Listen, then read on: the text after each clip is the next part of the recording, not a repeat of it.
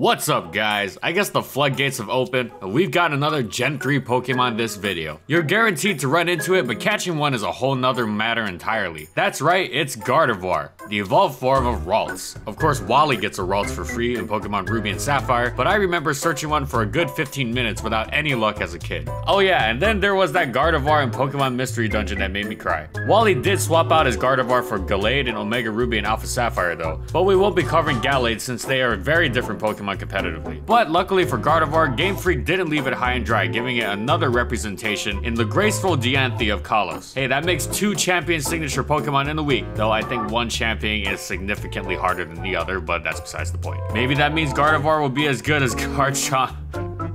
Alright, let's let's find out. How good is Gardevoir actually?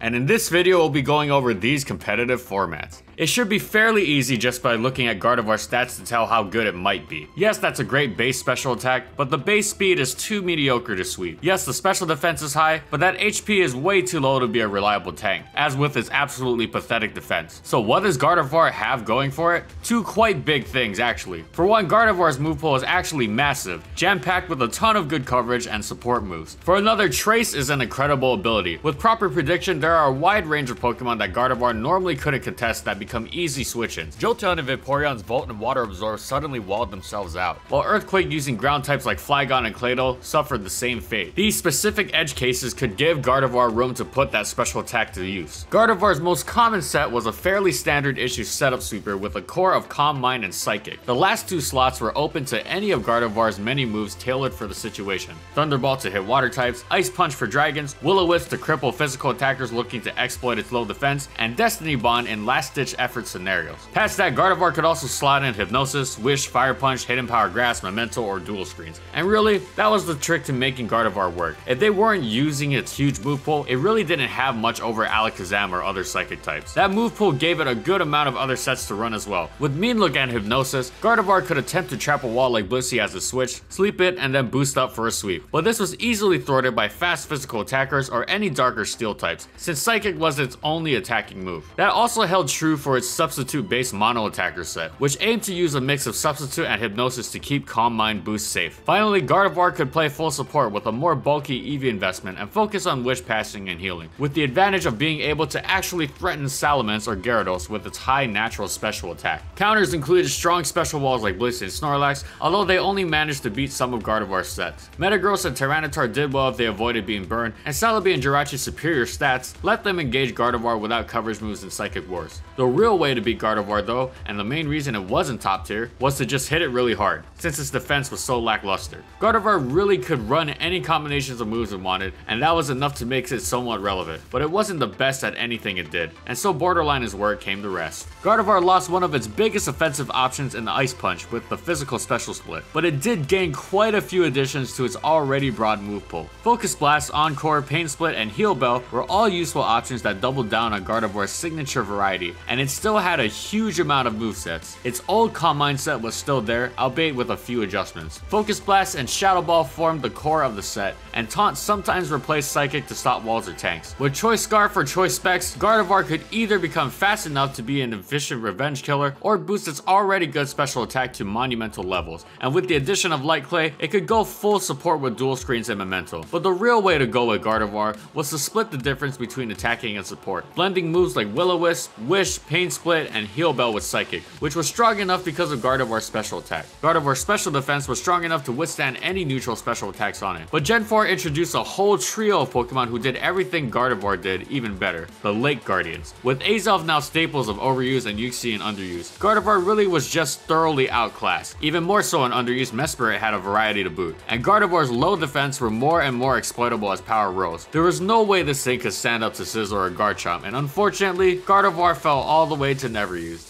Yikes. Gen 5 saw Gardevoir just getting used to the never used position. There were just so many psychic types that did what it did better, including its goth reinvention Gothitelle, whose Shadow Tag let it one up the Trapper set used two generations prior to far greater success. In never used, its variety let it be a strong option, but even there, it was outclassed by the likes of Musharna and Beheeyem. Sorry Gardevoir, looks like your moment has passed. Just kidding, Gen 6 saw Gardevoir a new lease on life with a new typing and a Mega Evolution, and what a Mega Evolution it was, with an absolutely ginormous dress. Let's talk about normal Gardevoir first. That fairy typing was enough to take it to underuse, where Choice Scarf let it be one of the best fairy type attackers available in the tier with a combination of Moonblast and Psychic. Paired with Trick, Gardevoir could also free itself up to still be a potent support and potentially turn a game around with Healing Wish or Memento. Its old standby, the Calm Mindset, was suddenly a lot more threatening purely because of fairy type coverage and the new attacking bonus of Psyshock, which could exploit special walls like Blissey or Florges. Finally, with Choice Specs, Moonblast started to really live up to its name, and Gardevoir's huge move pool meant it was at no shortage of coverage moves to use with Moonblast and Psychic, and Trick was always an option as well. This Gardevoir was very weak to certain steel types like Forretress and Escavalier, and strong physical attackers as always, and those problems were frequently exacerbated by being choice locked, but the new typing and Psyshock synergy made it a strong underused contender. But Mega Gardevoir, oh boy. Mega Gardevoir was more than a contender. 165 base special attack boosted by Pixel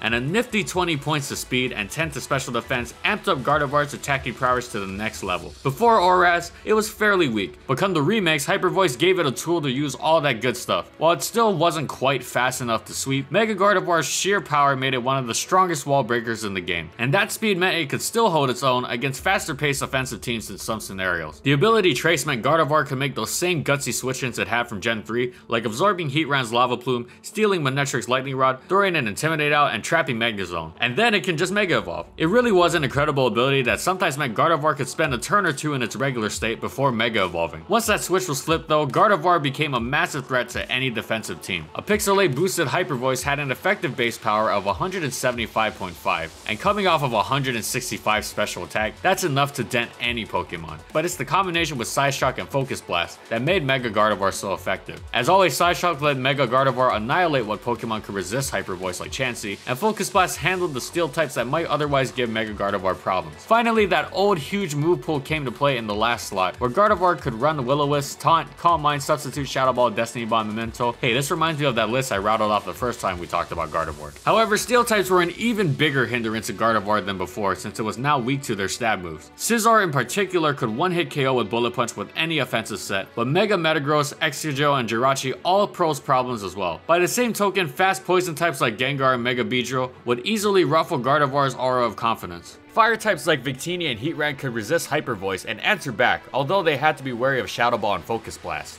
And finally, Mega Gardevoir didn't get any boost to defense, so that was still its pain point. Faster physical attackers like Weavile, Landorus T, Terrakion, and priority users like Talonflame, Bisharp, and Azumarill would leave it reeling. All that said, Mega Gardevoir was a tremendous choice for any team struggling with breaking through walls thanks to Moonblast Psyshock synergy, and boosted Gardevoir into its first overused position ever. Gardevoir in VGC is split into two very distinct phases. In VGC 2014, Mega Gardevoir still lacked access to Hyper Voice, making it all but useless. But somewhat surprisingly, regular Gardevoir still found a place in the metagame. As the strongest non-boosted fairy type, Gardevoir could still pick up kills on opposing dragon types and most Tyranitars with Moonblast, even when Scarf. It also had the options to go Specs, potentially hitting the enemy team for massive damage with a Dazzling Gleam. Movesets were pretty standard. While it potentially could play a support Trick Room role, Gardevoir more frequently found itself spamming Moonblast, Dazzling Gleam, and Psychic, with the side helping of a coverage move of choice. Of course, this Gardevoir had to be played carefully, as the prevalence of strong physical attackers made the metagame a scary place, especially a steel-heavy metagame. But Gardevoir was actually remarkably strong. It was a frequent visitor to top 8s, in fact winning quite a few of the tournaments throughout the year, with quite a few competitors using it, including South Africa Nationals, Georgia Regionals, Oregon Winter Regionals, and oh yeah, Worlds. Gardevoir was another member of Sejun Park's winning Worlds team, where partnered with Talonflame and Mega Gyarados, it formed a strong central trio thanks to Intimidate from Gyarados, giving it some leeway on the defensive side. Gardevoir was certainly a finicky Pokemon because of how easily it could be KO'd, but Sejun foresaw that, and with some defensive EV investment, Gardevoir was able to tank a hit from Mega Lucario's Bullet Punch in the finals. Hats off to you, Sejun and Gardevoir. Then with Hyper Voice Pixelate unlocked, Mega Gardevoir entered the scene in 2015. Regular Gardevoir still saw a good amount of play, but that spread Hyper Voice was enough to convert most players. This iteration of Gardevoir shared the same weaknesses as its predecessor, especially pronounced now that Landorus and Kangaskhan were threats who could exploit its low defense. It was still used somewhat though. Hitting someone with that Hyper Voice was quite the appetizing treat, and what the set was built around, frequent other moves included Protect, Psychic, Moonblast, and Psyshock, basically what you expect. Some chose to go for extra safety, such as Bioski's second place SoCal Regionals Gardevoir, but in the end, the most effective Mega Gardevoirs proved to be those that used its extensive move pool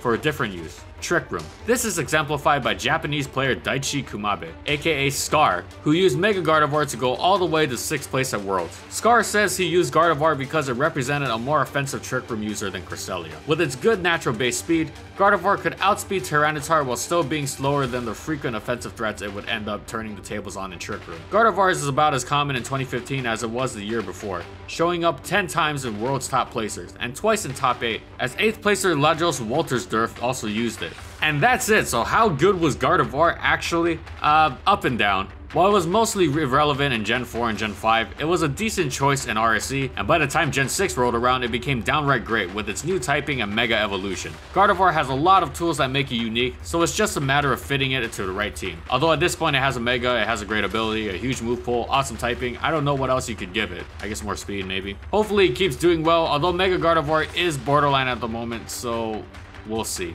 Thanks for watching everyone, and as always if you liked the video and you want to see more, be sure to subscribe to False Swipe Gaming for more weekly Pokemon content, and of course as I always say, comment on what Pokemon you want to see next. Also thank you so much to our patrons for continued support of our videos, and thank you to all of you as well. And follow my crew on these social media platforms, and that's all I got. See you next week everybody.